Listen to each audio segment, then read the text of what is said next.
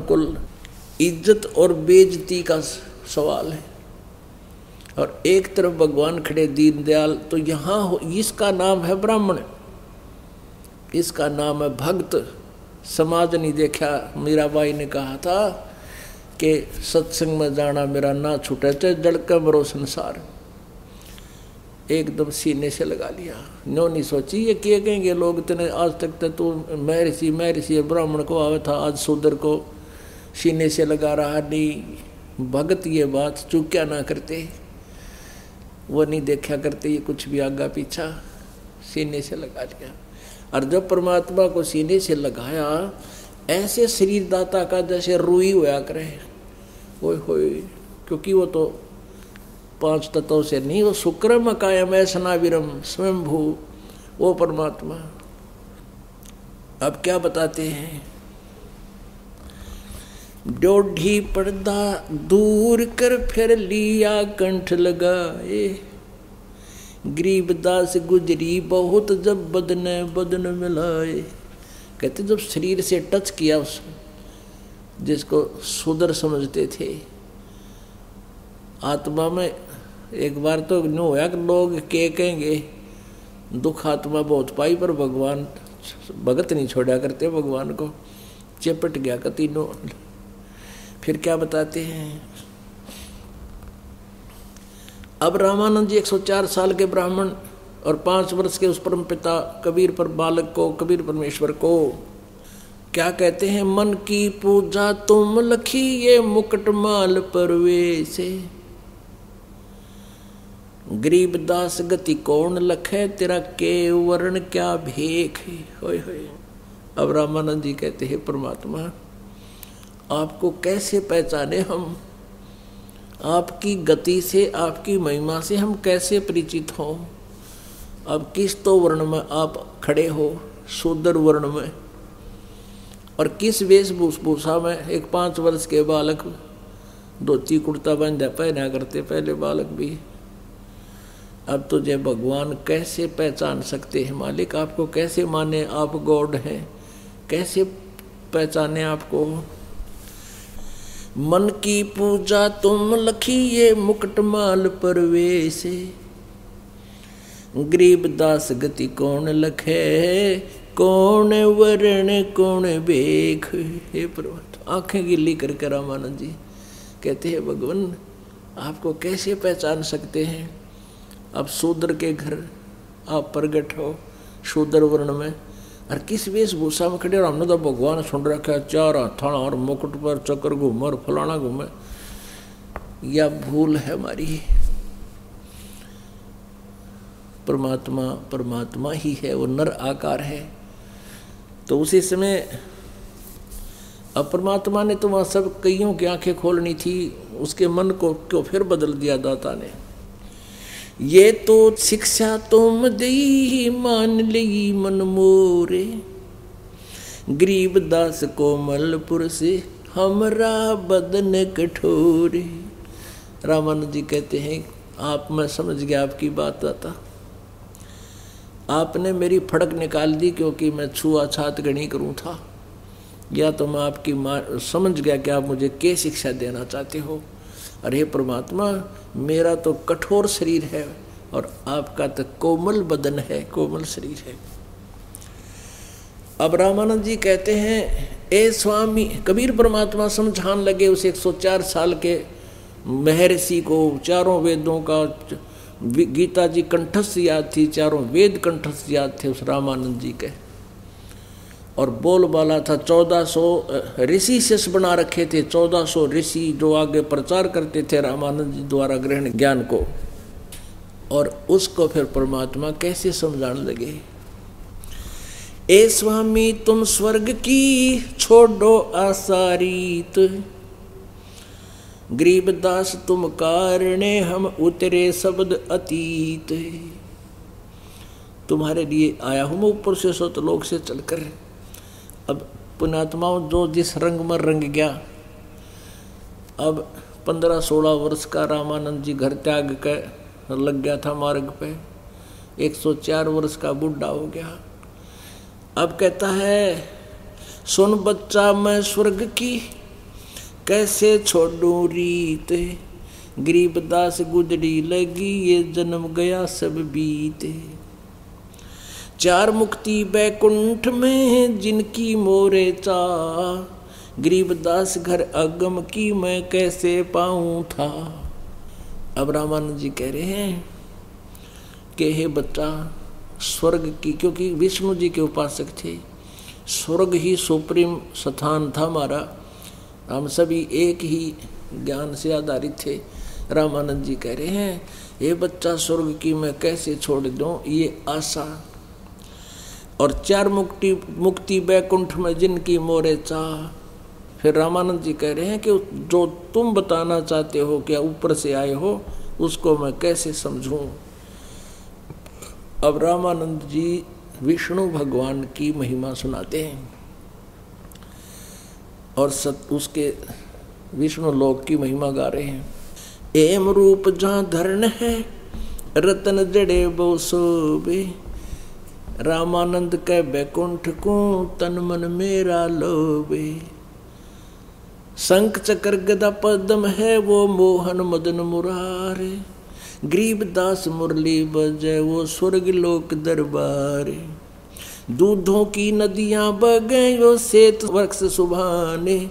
गरीबदास मंगल मुक्ति, स्वर्गापुर स्थान अब रामानंद जी कह रहे हैं, वहाँ मैं देव शरीर पाऊँगा और वहाँ कैसा शरीर है? रत्न जड़ा वो मनुष्य है। मनुष्यों के जैसे ये तेल हो जाते हैं ना कि बच्चा के और वो अच्छे लगते हैं। तो कहते हैं, वहाँ पर तेलों के स्थान पर रतन लगे होते हैं। ऐसा शरीर है देवताओं का। रतन जड़ाऊ मनुष्य है। गण गंधर्व सब देव, गरीबदास, उस धाम की मैं कैसे छोड़ू सेव? उस विष्णु के लोक में जाऊँगा, उसकी पूजा, सेव माने पूजा को कैसे छोड़ू?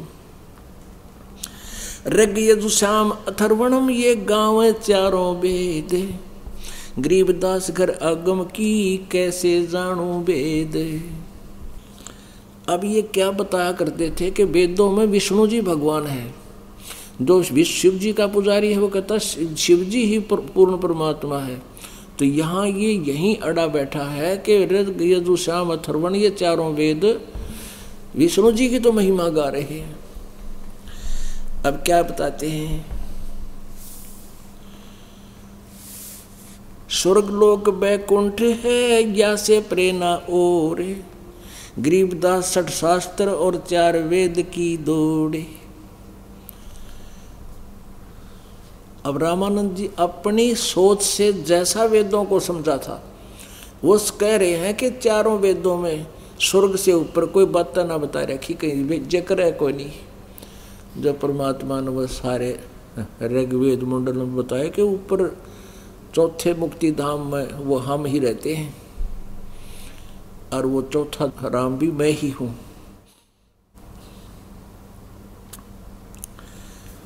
चार वेद गाँव तीसे स्वर्ग लोक और बैकुंठ है, या से प्रेम ओरे अब जितने भी संत ऋषि थे, ये वेदों को पढ़ते थे और स्वर्ग लोक को फाइनल बताते थे, स्वर्ग को। अब वही रामानंद जी सुने सुनाए ज्ञान में बोल रहा है कि स्वर्ग लोक बैकुंठ आगे और कोई नहीं, देश।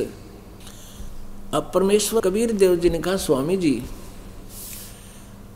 आप कहाँ जाओगे स्वर्ग में? कितने दिन रहोगे स्वर्ग में? अभी बुद्धिमान था, इतना ज्ञान तो था, जब तक पुण्य रहेंगे, तब तक स्वर्ग रहेंगे, फिर वापस? कहा, बच्चा, जब तक मेरे भक्ति की कमाई रहेगी। फिर ये अक्षीण होगी स्वामी जी, फिर कहाँ जाओगे? अब पता नहीं बच्चा, कहाँ जन्म होगा, किस पशु पक्षी की योनि में जाएँगे? फिर यह टट्टू भक्ति कर रहे हो आप। क्या साधना कर रहे हो? तेरा विष्णु भी मरेगा बैकुंठ लोक भी नाश होगा, ब्रह्मलोक तक नाश होगा, ब्रह्मांड का नाश होगा। तेरा विष्णु नहीं रहेगा, तू कहा, आप कहाँ रहोगे? फिर बताया कि आप तो बुद्धिमान हो, सभी पुराण याद हैं। देवी भागवत तीसरे सकंद में लिखा है, विष्णु जी स्वयं कह रहे हैं कि हम नाशवान हैं, हमारा तो जन्म और मृत्यु होता है। अब वो तो सारे कंठस्थ याद थे, उसका कहा बच्चा ऐसा लिखा है। तो कहते हैं, फिर समझदार को संकेत ही बहुत होते हैं। और आप विष्णु जी की पूजा कर रहे हो? और गीता जी को आप सत्य मानते हो, वेदों को सत्य मानते हो, कहा, बिल्कुल सत्य मानता हूँ। सातवें अध्याय के बारह से लेकर पंद्रह, तीनों गुण क्या है? रजगुण, ब्रह्मा, सतगुण, विष्णु, उत्तम गुण, शिव जी त्रिगुण मई माया। अखा बच्चा, ऐसा ही है। अब बुद्धिमान ने तो जल्दी समझा जा सकता जब वो भगवान चाहता है, और जो जानबूझ के बकवाद करता, फिर उसको समझाना व्यर्थ होता है। लेकिन वो भगवान चाहता था। और 104 वर्ष का हो गया था, टिकट कटन वाली थी तो उस समय भी आदमी थोड़ा सोच लेता है, कहाँ, बात तो बिगड़ने वाली है। अब परमात्मा ने कबीर परमेश्वर जी ने उसको समझाने की चेष्टा की कि स्वामी जी, तीनों गुणों, रजगुण, ब्रह्मा, सतगुण, विष्णु उत्तम गुण शिव जी के द्वारा, तरगुण वही माया के द्वारा जिनका ज्ञान हरा जा चुका सात में जय के पंद्रहवें श्लोक में श्रीमद भगवत गीता में लिखा है। वो राक्षस स्वभाव को धारण किए, मनुष्यों में नीच, दूषित कर्म करने वाले मूर्ख मुझे भी ना बचते। ये ब्रह्म कहता है जो ब्रह्मा, विष्णु, महेश का पिता है। रामानंद जी को तो कंठस्थ याद थी वो बातें। श्लोक याद थे सारे, कहा बच्चा ऐसा ही लिखा है। फिर सोलह, सत्रह और अठारह में, सातवें अध्याय के सोलह, सत्रह, अठारह में अपने विषय में कहता है, ये ब्रह्म के मेरी पूजा भी चार प्रकार के करते हैं। उनमें से ज्ञानी मुझे अच्छे लगते हैं, क्योंकि उन्होंने ये फैसला कर लिया कि एक भगवान की भक्ति करनी चाहिए आन उपासना अन्य देवता की नहीं करनी चाहिए। लेकिन वो भी तत्वदर्शी संत ना मिलने से मेरे वाली अनुतम साधना में ही लीन रहे कि हाँ बच्चा ऐसा ही लिखा है। फिर 20, 21, 22 और 23 में स्पष्ट किया है कि जो अन्य देवताओं की पूजा करते हैं उनकी साधना शास्त्र विरुद्ध होने से व्यर्थ है। कहा बच्चा ऐसा ही लिखा है? सौरा कुछ समझ गया फिर भी क्या कहता है? कैसा है ना? मैं समाधि लगाता हूँ और मैं सुरती ऊपर पहुँच जाती है, मेरा ध्यान समाधिस्थ हो जाता हूँ, ऊपर जाता हूँ। अब देखो, काल ने इतने अड़ंगे अड़ा दिए हमारे भीतर है। फिर यो अभिमान कि मैं तो बाल ब्रह्मचारी और योग अभ्यास करता हूँ मेडिटेशन करता हूँ। परमात्मा ने पहले तो उस मेडिटेशन के डीमेरिट बताए उसको कि जो साधना आप करते हो, तब से राज राज मधमानव जन्म तीसरे सुकर स्वानम और फिर कहा कि लगाओ चल ध्यान नहीं मानते मानने वाले दिखे तो यो यो और अड़ गया एक अड़ंगा। जब अंदर समाधिस्थ हुए त्रिवेणी पे तीन रस्ते हो जाते हैं ऊपर। अब तीन रस्ते वहाँ जाकर अटक गए उससे आगे वो नहीं जा सकते थे। वो तो मृत्यु के उपरांत जा, जा सकते थे जहाँ भी उसका साधन जिसकी भक्ति थी। तब परमेश्वर ने कहा और बालक रूप में ऊपर दिखे जैसे सपना होया करे कहा स्वामी जी ये बीच वाला रास्ता ऊपर ब्रह्मरंद्र को पार करके सतलोक जाता है, ऊपर के लोकों में जाता है। और ये तुम्हारा रास्ता है जो विष्णु के लोक में जाएगा। आप अपने पुण्य कर्मों के आधार से विष्णु लोक में जाओगे, अपने पुनों को खत्म करके फिर चौरासी लाख यूनियम आप। ये सामने का जो मन तीस बीच वाला जो ब्रह्मरंद्र है, ये तुम्हारे मंत्रों से जाप से नहीं खुल सकता, ना ओम नाम से खुल सकता। मैं अपने सतनाम से खोलूँगा। परमात्मा ने लीला करके दिखाया, उस सतनाम का सिमरण किया वो बीच का इतना भारा जो गेट एकदम खुल गया, पटाख देसी। आजा स्वामी जी।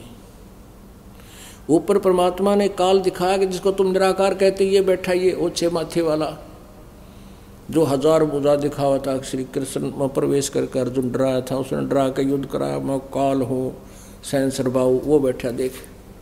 परमात्मा के सिमरण के सामने उसका नतमस्तक हो गया। कबीर परमेश्वर रामानंद जी को सतलोक में लेकर गए। अब वहाँ जाकर रामानंद जी ने क्या देखा कि परमात्मा परमेश्वर जैसे यजुर्वेद अध्याय नंबर पाँच के मंत्र नंबर एक में दो बार गवाही दी है। अग्नि तनुरसी, विष्णुवे तवा सोमस तनुरसी। वो परमात्मा, हे परमात्मा, आपका तेजो में शरीर है, जो सतलोक में सथिर है। वहाँ सिंहासन पर विराजमान रहते हो। और विष्णुवेतवा सोमस्य तनुरसी सबका धारण पोषण करने के लिए, यहाँ उनको सद्भक्ति दे करके उनको समृद्ध करने के लिए भी उस परमात्मा, अमर पुरुष का अन्य शरीर है।